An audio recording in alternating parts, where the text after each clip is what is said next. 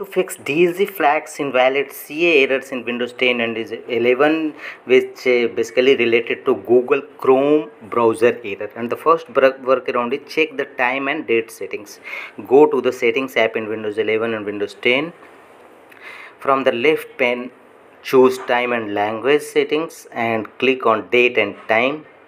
Here turn the toggle button on against option set time automatically if after, even after uh, turn button uh, toggle button on this time is not correct to set this go to the additional clocks option.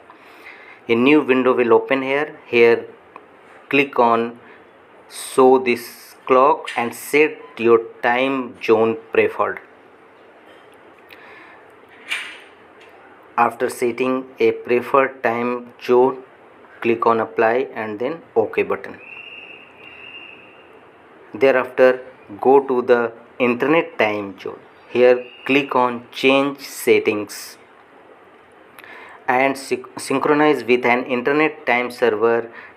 Click on update now to set internet time settings. And finally click on ok button to save the changes the second workaround is clear the browser cache. Open Google Chrome browser and press shift plus control plus delete and clear browsing data window will open. Here set the time all time and make the check against option browsing history cookies and other site data caches images and files. And finally click on clear data to erase all your browser history.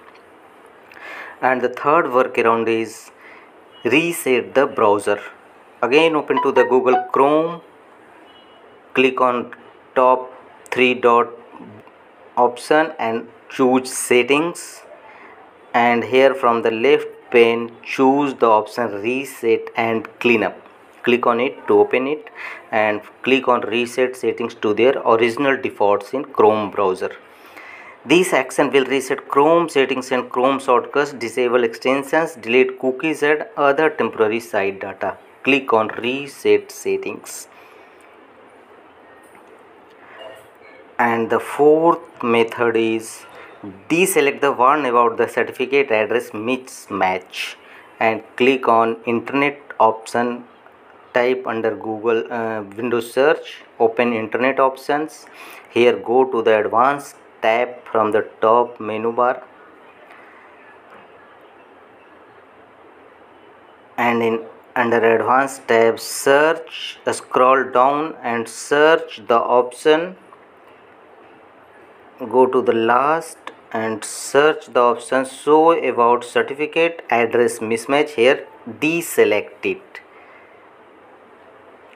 make the uncheck against this option and click apply and then ok button to save the changes. That's all